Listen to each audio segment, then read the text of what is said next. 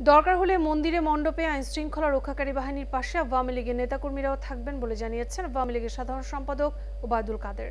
আজ আওয়ামী লীগের সভাপতি শেখ হাসিনা রাজনৈতিক কার্যালয়ে সনাতন ধর্মাবলম্বীদের প্রতিনিধিদের সঙ্গে বৈঠকে কথা বলেন তিনি। ওবায়দুল কাদের বলেন, কুমিল্লায় যা ঘটেছে তা বিভৎস, চৌমোহনীতে যা ঘটেছে তা আরও ভয়াবহ। এছাড়াও রংপুর, সিলেট, সুনামগঞ্জ ও নাসিরনগরেও এই ধরনের অনেকগুলো ঘটনা ঘটেছে। এসব ঘটনার জন্য পুনরাবৃত্তি না হয়, সেজন্য আওয়ামী লীগের সকল নেতাকর্মীদের পূজা মণ্ডপে পাহারায় থাকার আহ্বান জানান দলের সাধারণ সম্পাদক ওবায়দুল কাদের।